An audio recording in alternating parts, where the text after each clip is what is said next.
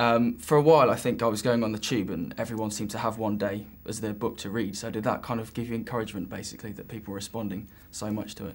Yes, uh, it's it, it's a lot of expectations, but it's also fantastic to work with something that you know that people love and and uh, connect with in this way. I remember one of our cast members said that she was reading this book on the tube and suddenly yelled "No!" when you get to the point where the story suddenly takes a different direction, and and um, and of course the book was all over the bookshops while we were shooting. So. Mm.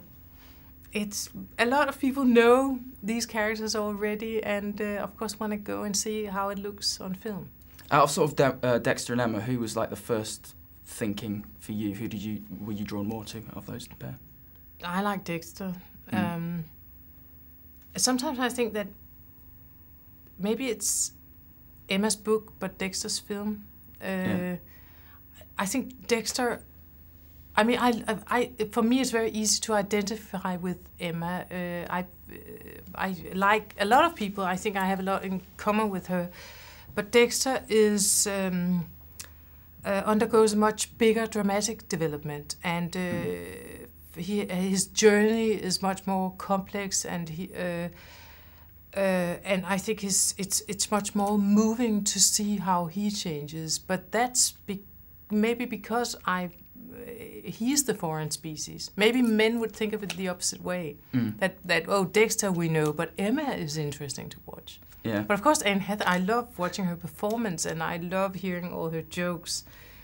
But um, I tend to enjoy uh, working with male characters more. Uh, Dexter, he's kind of he does things that maybe make him seem inconsiderate. So I mean, do you think that you had to get someone like Jim really, who seems to charm people instantly?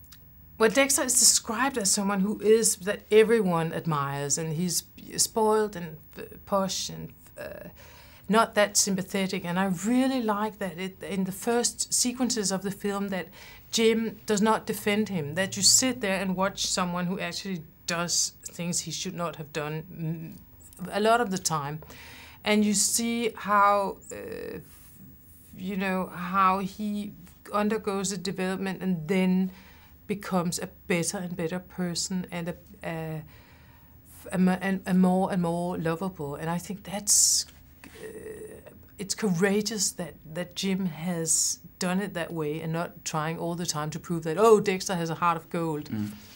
Were you worried what um, sort of fans of the book would think of Anne Hathaway being that she's American and it's a, an English character, or did that sort of not figure? Yes, i have been thinking about Renee Zellweger as Bridget D Jones. I don't know how many times. Um, um, there's something about that. Apparently, it's harder, or it it there's less uh, admiration for Americans try to play Brits than the other way around. Mm. Um, it's and I there's something really sympathetic about you being protective about your your uh, characters and your literature, but there are also a lot of examples of people where it works, and and I think Anne uh, had already played uh, Jane Austen and that um, so she, it was not something she'd never tried. The, the things that he, she would contribute to the project with uh, all her qualifications and her warmth, and um,